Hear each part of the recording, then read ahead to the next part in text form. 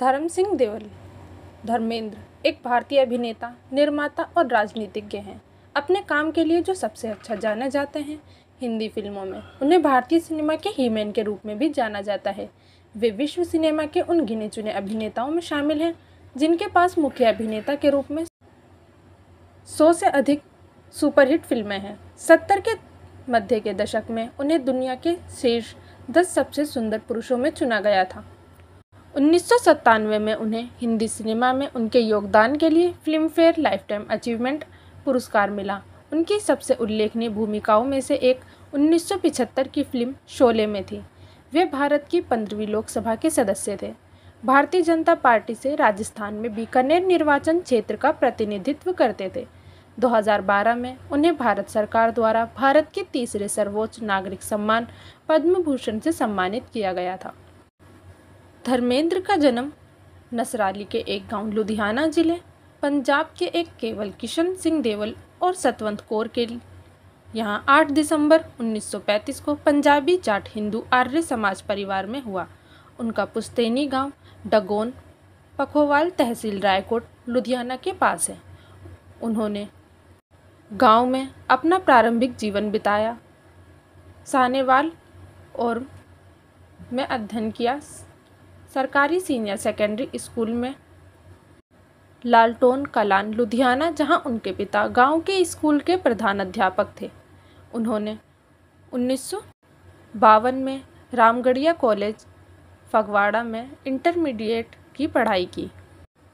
Dharmendra Filmfare पत्रिका के राष्ट्रीय स्तर पर आयोजित नए प्रतिभा पुरस्कार के विजेता थे और पुरस्कार विजेता होने के नाते वादा की गई फ़िल्म में काम करने के लिए पंजाब से मुंबई गए, लेकिन फ़िल्म कभी नहीं बनी। बाद में उन्होंने 1960 में अर्जुन हिंगोरानी की दिल भी तेरा, हम भी तेरा के साथ अपनी शुरुआत की। 1961 में फ़िल्म बॉयफ्रेंड में उनकी सहायक भूमिका थी और 1960 के बीच कई फ़िल्मों में उन्हें रोमांटिक रुचि के रूप में लिया गया। उन्होंने नूतन के साथ सूरत और सीरत उन्नीस बंदिनी उन्नीस दिल ने फिर याद किया उन्नीस सौ छियासठ और दुल्हन एक रात की उन्नीस सौ सड़सठ। माला सिन्हा के साथ अनपढ़ उन्नीस सौ बासठ, पूजा के फूल उन्नीस सौ चौंसठ, बहारें फिर भी आएँगी उन्नीस सौ छियासठ और आँखें उन्नीस सौ अड़सठ, आकाशदीप उन्नीस सौ पैंसठ, नंदा के साथ शादी उन्नीस सौ बासठ और आई मिलन की बेला उन्नीस में सायरा बानो के साथ धर्मेंद्र ने मीना कुमारी के साथ एक सफल जोड़ी बनाई और सात फ़िल्मों में स्क्रीन साझा की, जिनमें मैं भी लड़की हूँ उन्नीस काजल उन्नीस सौ पैंसठ, पूर्णिमा उन्नीस सौ पैंसठ, फूल और पत्थर उन्नीस मंजली दीदी उन्नीस सौ सड़सठ, चंदन का पालना शामिल हैं। उन्नीस सौ सड़सठ और बहारों की मंजिल उन्नीस सौ अड़सठ फूल और पत्थर उन्नीस सौ छियासठ में उनकी एकल नायक की भूमिका थी, जो उनकी पहली एक्शन फ़िल्म थी। लंबे समय से कयास लगाए जा रहे हैं कि मीना कुमारी और धर्मेंद्र के बीच 1960 के दशक में अंतर्गत संबंध थे। मीना कुमारी ने उस समय के एलिस्टिट्स में खुद को स्थापित करने में उनकी मदद की। फूल और पत्थर 1966 की सबसे ज़्यादा कमाई करने वाली फ़िल्म बन गई। और धर्मेंद्र को पहली बार सर्वश्रेष्ठ अभिनेता के फिल्मफेयर पुरस्कार के लिए नामांकित किया गया। अनुपमा में उनके अभिनय को समीक्षकों द्वारा सराहा गया। फ़िल्म में उनके प्रदर्शन के लिए उन्हें राष्ट्रीय फ़िल्म पुरस्कारों में एक स्मारिका दी गई। उन्होंने आई मिलन की बेला, आया सावन झूम के, मेरे हमदम मेरे दोस्त, इश्क पर ज़ोर नहीं, प्यार ही प्यार और जीवन मृत्यु जैसी फ़िल्मों में रोमांटिक भूमिकाएँ की। उन्होंने शिकार, ब्लैकमेल, कब क्यों और कहाँ और कीमत जैसी सस्पेंस थ्रिलर फ़िल्में की। धर्मेंद्र को एक प्राप्त फिल्मफेयर सर्वश्रेष्ठ अभिनेता का 1971 की हिट फ़िल्म में एक्शन हीरो की भूमिका के लिए नामांकन, मेरा गाँव, मेरा देश। रोमांटिक और एक्शन हीरो की भूमिका निभाने के बाद उन्हें 1975 तक एक बहुमुखी अभिनेता कहा जाने लगा। उनकी सबसे सफल जोड़ी हेमा मालिनी के साथ थी, जो आगे चलकर उनकी पत्नी बनी। इस जोड़ी ने राजा जानी, सीता और गीता, शराफत नया ज़माना, पत्थर और पायल। तुम हसीन में जवान जुगनू, दोस्त, चरस, माँ, चाचा भतीजा, आज़ाद और शोले सहित कई फ़िल्मों में एक साथ काम किया। उनके सबसे उल्लेखनीय अभिनय प्रदर्शनों में हरिकेश मुखर्जी के साथ सत्यकाम और शोले शामिल हैं, जिसे इंडिया टाइम्स द्वारा सभी समय की शीर्ष 25 बॉलीवुड फ़िल्मों को अवश्य देखना चाहिए, में से एक के रूप में सूचीबद्ध किया गया है। वार्षिक फिल्मफेयर पुरस्कारों के न्यायाधीशों ने शोले को सर्वश्रेष्ठ फ़िल्म के फिल्मफेयर के विशेष सम्मान से सम्मानित किया। धर्मेंद्र 1976 और उन्नीस सौ चौरासी के बीच एक्शन फ़िल्मों की संख्या में स्टार करने के लिए चल दिए। उन्होंने धर्मवीर, चरस, आज़ाद, कातिलों के कातिल, गजब, राजपूत, भागवत, जानी दोस्त, धर्म में और कानून, मुख्य इंतकाम लूँगा, जीने नहीं दूँगा हुकूमत और राज तिलक। राजेश खन्ना के साथ उन्होंने टिंकू, राजपूत और धर्म और कानून में अभिनय किया, जो सभी हिट रही। हालाँकि उनकी आखिरी फ़िल्म एक साथ कैमियो में दिखाई दी। मोहब्बत की कसम उन्नीस फ्लोप रही। उन्होंने साथ काम किया जितेंद्र के, जिनमें धर्मवीर, सम्राट, जलन ट्रेन, जान हथेली पे किनेरा धर्माकर्मा और नफ़रत की आंधी। उन्होंने शालीमार, क़यामत जान हाथी पे झूठा सच सीता मगर प्रोफेसर प्यारेलाल और फंदेबाज में भी कौन मैन या गैंगस्टर की भूमिका निभाई। उन्होंने उन्नीस सौ सतासी में पुनीत इस्सर अभिनीत फ़िल्म सुपरमैन में भी खलनायक की भूमिका निभाई थी। उन्होंने विभिन्न निर्देशकों के साथ काम किया, जिनमें से प्रत्येक की फ़िल्म निर्माण की एक अलग शैली है। धर्मेंद्र का सबसे लंबा सहयोग निर्देशक अर्जुन हिंगोरानी के साथ था। दिल भी तेरा, हम भी तेरे, एक अभिनेता के रूप में धर्मेंद्र की पहली फ़िल्म थी और मुख्य नायक के रूप में धर्मेंद्र के साथ अर्जुन का पहला निर्देशन उद्यम था।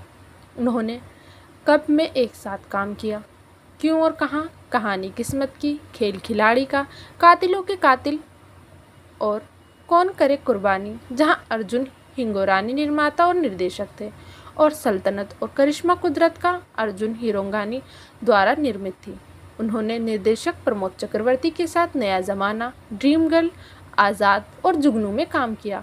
धर्मेंद्र जैसे कई फ़िल्मों में दोहरी भूमिकाओं निभाई हैं।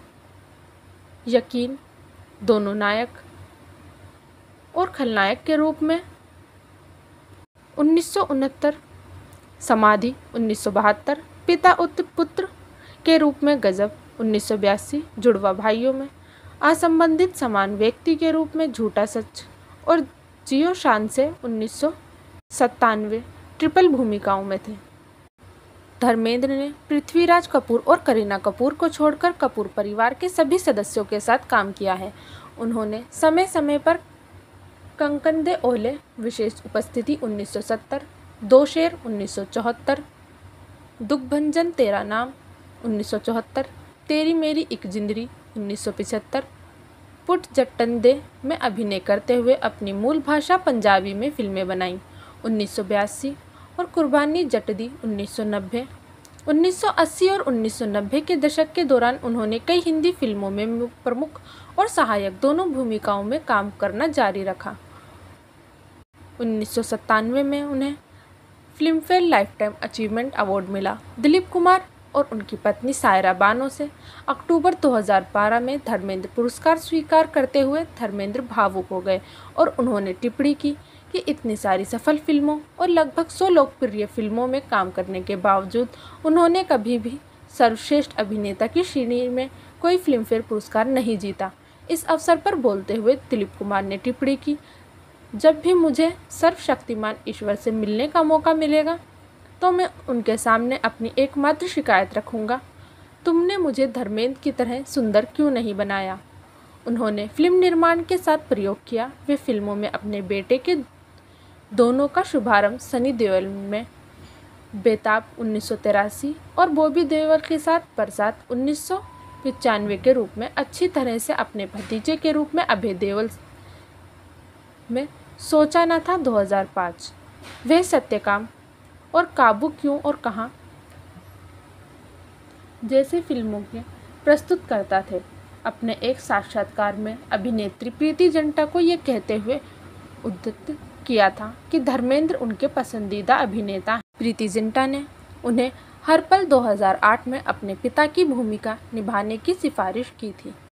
2003 से अभिनय से चार साल के अंतराल के बाद वे 2007 में लाइफ इन अ मेट्रो और अपने में एक चरित्र अभिनेता के रूप में फ़िल्मों से फिर से दिखाई दिए। दोनों फ़िल्में समीक्षकों और व्यावसायिक रूप से सफल रहीं। बाद में वे पहली बार अपने दोनों बेटों सनी और बॉबी के साथ दिखाई दिए। उनकी अन्य रिलीज़ जोनी गद्दार थी। 2011 में उन्होंने अपने बेटों के साथ यमला पगला दीवाना में फिर से अभिनय किया, जो 14 जनवरी 2011 को रिलीज़ हुई थी। एक सीक्वल, यमला पगला दीवाना टू, रिलीज़ हुई थी। वे अपनी बेटी ईशा देवल के साथ 2011 में अपनी पत्नी के निर्देशन में बनी फ़िल्म टेल मी ओ खुदा में दिखाई दिए। उन्होंने पंजाबी में दोहरी भूमिका निभाई। फ़िल्म डबल द ट्रबल 2011 में धर्मेंद्र ने लोकप्रिय reality show India's got talent की तीसरी श्रृंखला के पुरुष जज के रूप में साजिद खान की जगह ली। उनतीस जुलाई 2011 को इंडियाज़ गोट टैलेंट ने नए जज के रूप में धर्मेंद्र के साथ कलर्स पर प्रसारित किया और पिछले दो सीज़न की शुरुआती रेटिंग को पार कर गया। उन्नीस में धर्मेंद्र ने एक प्रोडक्शन कंपनी की स्थापना की जिसे विजेता फिल्म्स के नाम से जाना जाता है। उन्नीस सौ तिरासी में रिलीज़ हुई अपनी पहली फ़िल्म में बेताब। विजेता फिल्म्स ने मुख्य अभिनेता के रूप में सनी देवल को लॉन्च किया।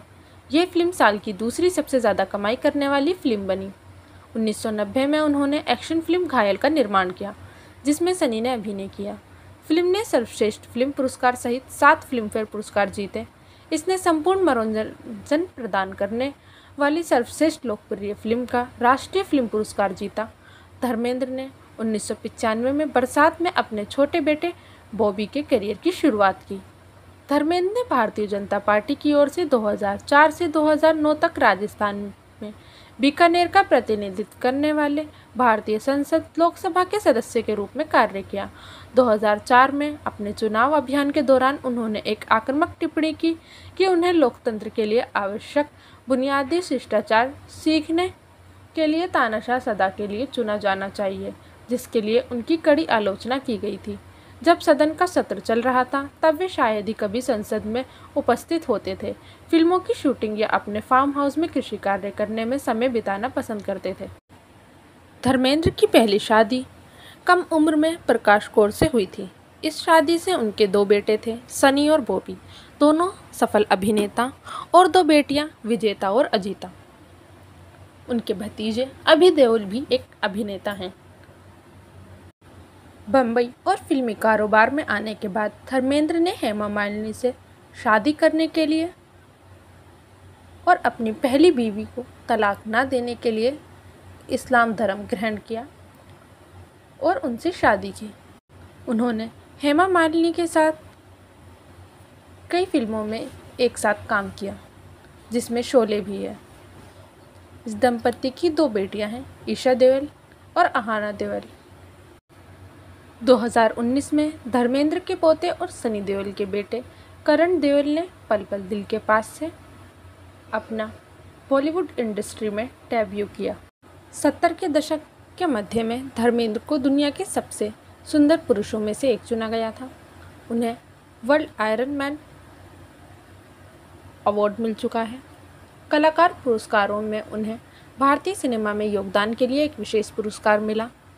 वे भारतीय मनोरंजन उद्योग में उनके उत्कृष्ट योगदान की मान्यता में federation of India chamber of commerce and industry द्वारा लिविंग लीजेंड अवार्ड्स के प्राप्त करता है।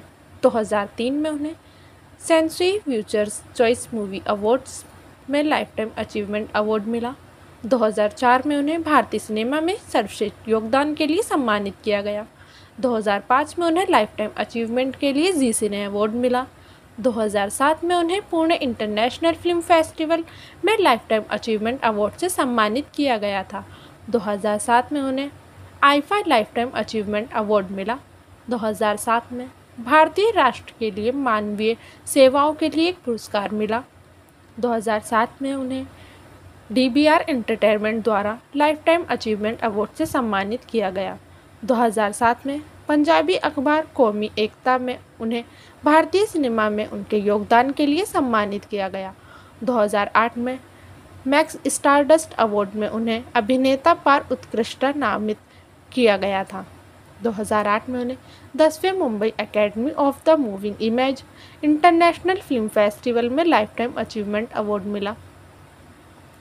2009 में उन्हें नासिक इंटरनेशनल फ़िल्म फेस्टिवल में लाइफ टाइम अचीवमेंट अवार्ड मिला।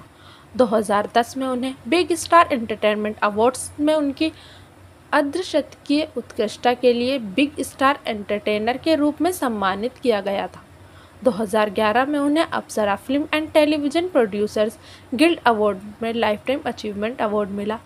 2011 में उन्हें फ़िल्म उद्योग में 50 साल पूरे करने के लिए सलाम महाराष्ट्र पुरस्कार मिला। 2011 में उन्हें भारतीय टेलीविज़न अकेडमी पुरस्कारों में the I T A scroll of honour से सम्मानित किया गया था।